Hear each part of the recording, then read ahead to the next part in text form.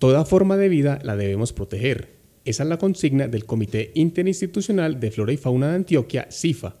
que durante los días de Semana Santa aunan esfuerzos para contrarrestar el tráfico ilegal de animales y plantas. Hoy nos acompañan todas las instituciones que hacemos parte del Comité Interinstitucional de Flora y Fauna de Antioquia para sumar esfuerzos muy importantes y que ya se vienen desarrollando desde cada una de las entidades, pero que hoy es ese espacio para articularlos de manera más contundente, de manera fuerte, porque tenemos un reto que se avecina y es precisamente la Semana Santa. En este momento, eh, en conmemoración de esta semana, se presentan o se, incrementan esas problemáticas que tenemos de tráfico de fauna y flora. Puestos de control en diversos municipios de Antioquia acciones pedagógicas y castigos ejemplares hacen parte de la labor operativa de las organizaciones que integran el Comité CIFA. Desde la Fiscalía, eh, para efectos de realizar una intervención oportuna y que sea contundente, especialmente en la temporada de Semana Santa, tenemos dispuesto un grupo de tareas especiales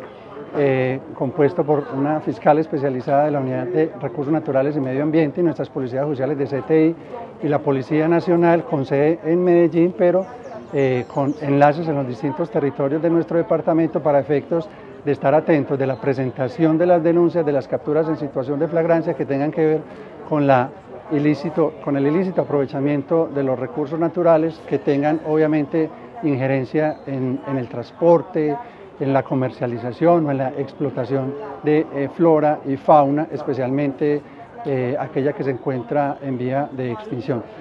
El área metropolitana del Valle de Aburrá, como miembro del Comité Interinstitucional de Flora y Fauna de Antioquia CIFA, reafirma sus compromisos de trabajar de manera articulada no solo con las autoridades ambientales, sino también con la Policía Ambiental, para reforzar en la Semana Mayor los ejercicios de puestos de control ambiental en vías intermunicipales y, por supuesto, los ejercicios de sensibilización y control en las terminales de transporte, buscando que cada uno de los ciudadanos se sensibilicen de no participar de la cadena del tráfico ilegal, no solo de fauna silvestre, sino también de elementos de la biodiversidad como musgos, bejucos y hojas de palma de cera o táparo. En Semana Santa se incrementa el tráfico de elementos como palma de cera, osos perezosos, huevos de iguana, monos tití y algunas aves, situación que según el Código Penal podría traer sanciones entre los 4 y los 9 años de cárcel.